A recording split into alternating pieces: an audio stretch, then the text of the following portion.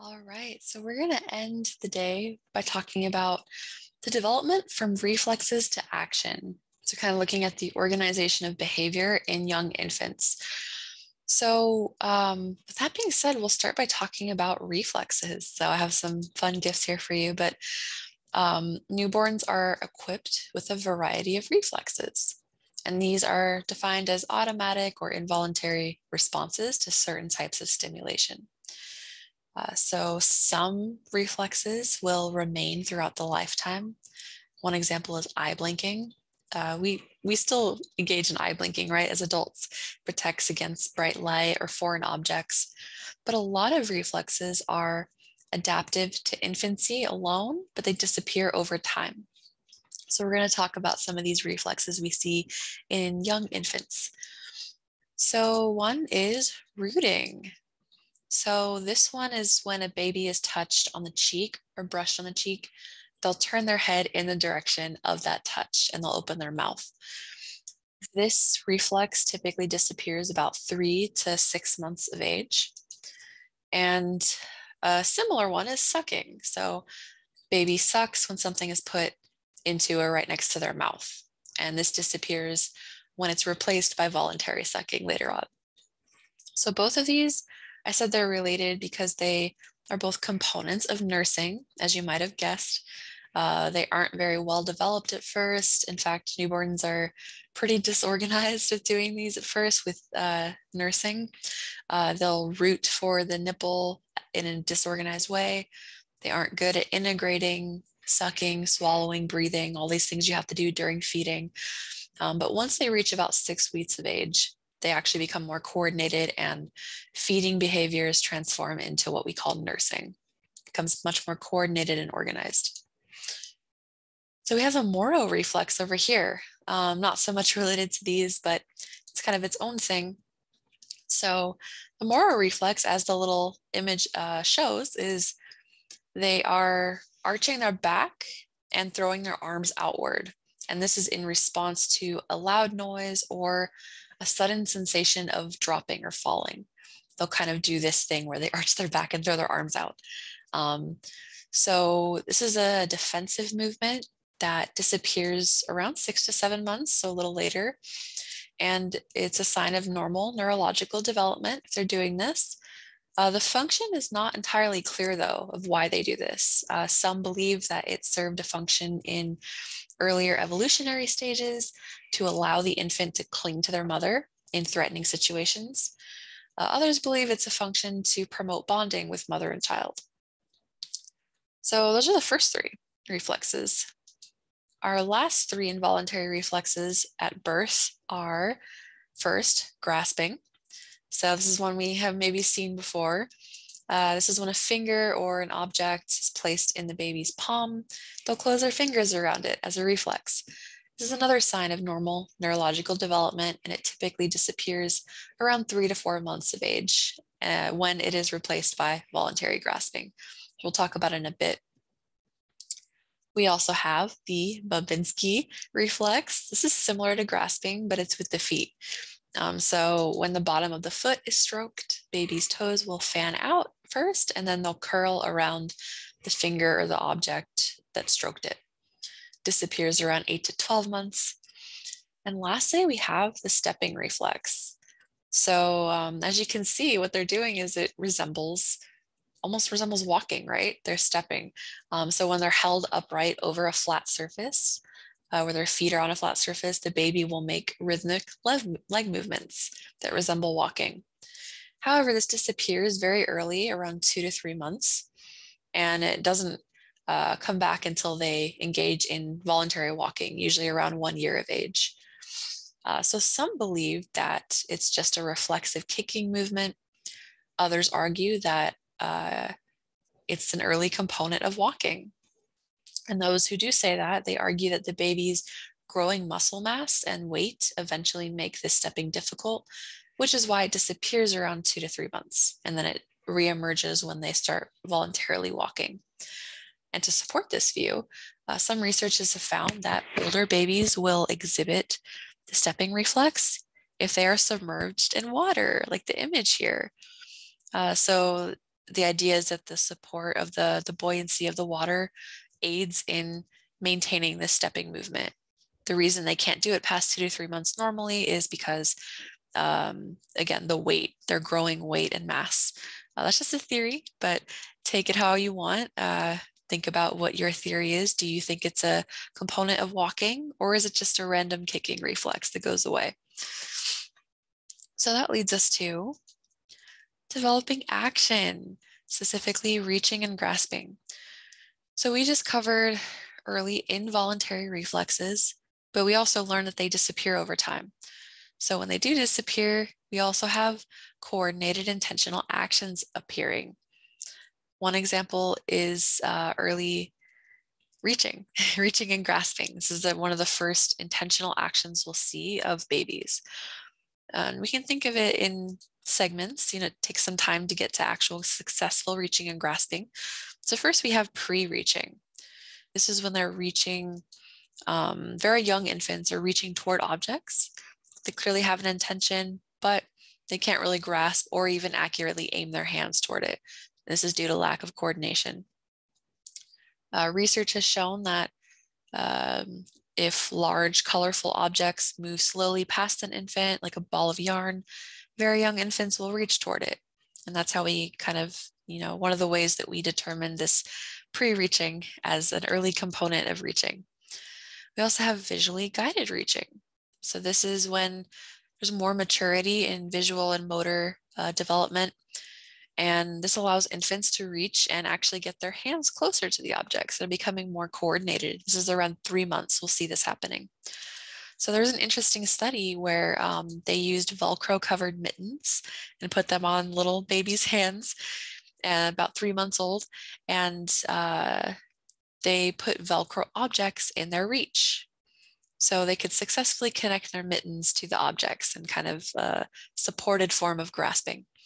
And then the control group did not have these mittens. They just did old fashioned reaching and grasping. The results showed that the mitten group showed greater interest in the objects and greater skill in grasping the objects when they were later tested without the mittens. So this shows that infants reaching and grasping can be accelerated if they are given support.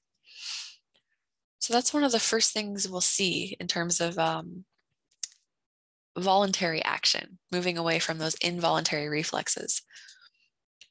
Now, going back to Piaget, we learned about him a bit at the beginning, uh, but his first stage in his theory is a sensory motor period, which is during infancy. And what is going on during this period is babies and toddlers, they're coordinating their senses and their motor abilities, sensory motor, to gain knowledge about the world. And there's six substages. And the first two of them actually fall within this age range that we're talking about today, the three month period. So we'll talk about the first two substages now. Um, so uh, first one is exercising reflexive schemas. This is from about birth until about one month. And what's happening is they're learning to coordinate reflexes present at birth, the ones we just talked about. Uh, so it's providing kind of this initial connection with the environment, but it doesn't add too much to development. It's more about just exercising their natural inborn reflexes that they're born with. Then we get to the primary circular reaction stage, second stage, and this is from one to four months. So this is when new forms of behavior emerge and um, existing reflexes are being extended in time so for example, sucking, sucking reflex will no longer be limited to just feeding. They'll start doing it between feedings and experimenting that way. Existing reflexes are also extended to new objects. For example, infants might start sucking their own thumb. Notice their thumb, hey, what's this? Start sucking on it. Um, so they're extending those reflexes in other ways. Um, so they're repeating pleasurable actions toward themselves. And if we break down um, you know, the name primary circular reactions, we can think of primary meaning directed toward their own body themselves, their primary, and then circular meaning the behaviors circle back and they're repeated. So that, that's a very brief intro to Piaget's theory, but we will definitely come back to him later. Learning theories. What are some learning theories out there to explain the development of action in infants? Um, so they're saying that new forms of behavioral organization emerge as a consequence of learning. We'll talk about two different theories here, or two different uh, views. So uh, classical conditioning is our first one. We may have heard of this. This is when existing behaviors come to be associated with new stimuli. This was first demonstrated by Pavlov, his famous dog experiment where the dog would hear a tone before food was placed in the mouth and they would start salivating in response to the tone before it received food. The dog learned to expect food. Um, so let's watch a silly clip from The Office to demonstrate this as well. I have to reboot again. Hey Dwight, do you want an Altoid? What do you think?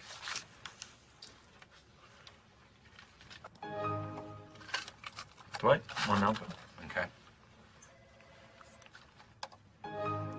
Altoid? Sure.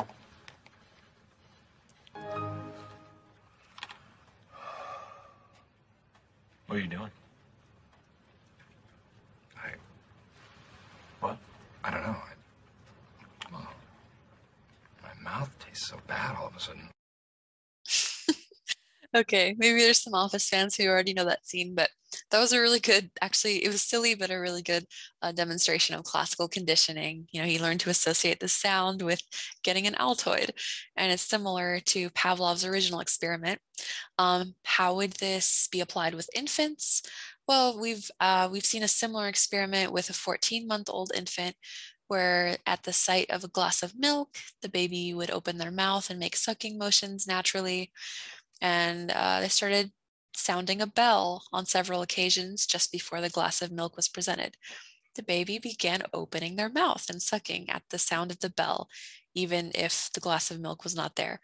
So, this is classical conditioning. It's building expectations through the process of association, building connections. Um, so, this indicates learning. So, that is one view um, or one method. We also have operant conditioning. So, how do behaviors come into being? So, this is saying that behaviors are shaped by consequences. Uh, so, behaviors that lead to rewards will be repeated, and behaviors that don't produce rewards or they lead to punishment will be given up on.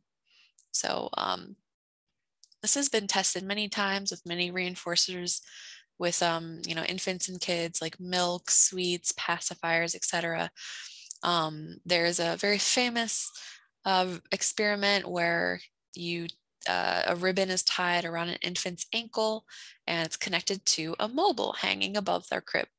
And the infant learns that kicking animates the mobile because it's tied to their ankle, right? And this, uh, like it would shape, the shapes on it would shake and spin and be an interesting visual effect, right? Which is a positive reinforcer. The infant enjoys this. So they start organizing their kicking behavior to produce more of these reinforcements. So let's watch a short video of a child, um, a home video from looks like the 90s, where uh, two parents actually seem to do this experiment on their kids. So it's only about two minutes. So let's see this in action. We're experimenting to see if Jeffrey knows whether he can control the world or not. And so this is a control situation. And we have a string tied to his mobile stand and his foot so that when he kicks he can move the mobile stand but of course since it's just an empty stand with no mobile he doesn't get much of, a, eh, much of an interesting result and here we have the baby having no interest at all in his foot. Instead he's playing with his mobile which is correct. Which has not been kept far enough away from him to properly control. so Notice there's no foot action. no foot action whatsoever. Zero kicks per minute. So we don't want him to chew on his mobile. And now he's going to start chewing on the mobile. We better stop him, okay? Okay, and now as you see, we have the mobile back on the stand. So by kicking, Mr. Jeffrey Levin can make that mobile move, and hopefully that should make him more interested in kicking. But as you see, he hasn't looked at his mobile even once because he outgrew his mobile a long time ago. There he goes. And he is kicking now two times per minute. There we go. Let's see. Let's see you move that mobile, Mr. Levitt. Is that fun? Are you getting into that? Boy, is that fun. Boy, is that fun, moving that mobile with your foot. My goodness. Look at what you can do, Mr. Lemon. My gosh. That's amazing. That requires All right, it goes on for a couple more minutes, but little Jeffrey does keep kicking and seems to realize that his foot is tied to it. He's the one causing the effect on that mobile. So it became a positive reinforcer. Um, and you can see his behaviors were shaped by the consequences. This is an example of operant conditioning. So that concludes this discussion on the transformation from reflexes to action. Um, so next time we will pick up on sensory capacities in these young infants and a few other topics as well. So thank you for joining everyone and I will see you next time.